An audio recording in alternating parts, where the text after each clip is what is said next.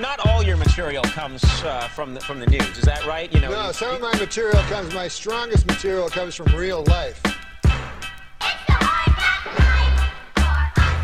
It's the hard night life for us. We get quick. A moth goes into a podiatrist's office. a moth goes into a podiatrist's office. right. You are correct. Goes into a podiatrist's office, and uh, the podiatrist's office says, What's the problem? And the moth says, What's the problem? Where do I begin, man? He goes, I go to work for uh, Gregory Olinovich, and uh, all day long I work. Honestly, Doc, I don't even know what I'm doing anymore. I don't even know if Gregory Olinovich knows. He only knows that he has power over and that seems to bring him happiness. But I don't know. I wake up in a malaise, and I, I walk here and there. The podiatrist says, Oh, yeah? And the moth goes, Yes. And he goes,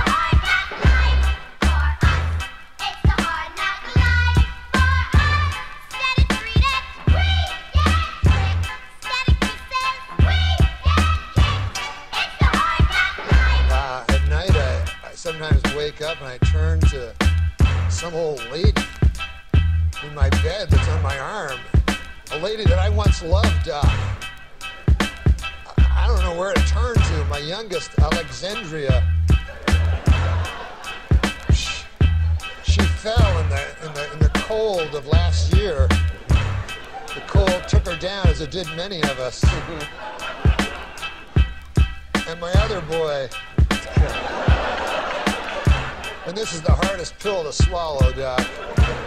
My other boy, Gregaro Ivanilidovich.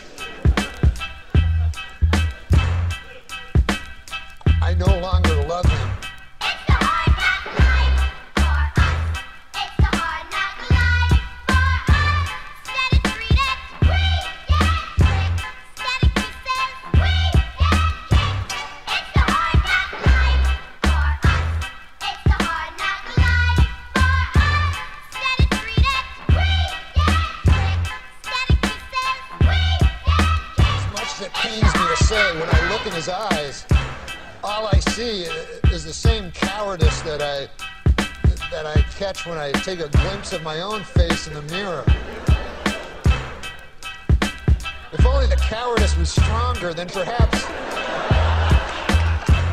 perhaps I could bring myself to reach over to that cocked and loaded gun that lays on the bedside behind me. And end this hellish facade once oh, How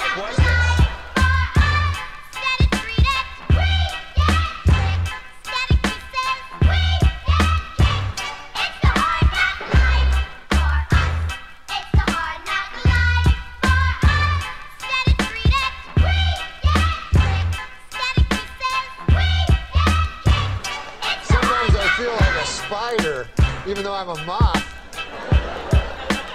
Just barely hanging on to my web with an everlasting fire underneath me. I'm not feeling good. And so the moth, the, the doctor says, Moth, man, you're troubled. But you should be seeing a psychiatrist. Why on earth did you come here? And then the moth said, because the light was on.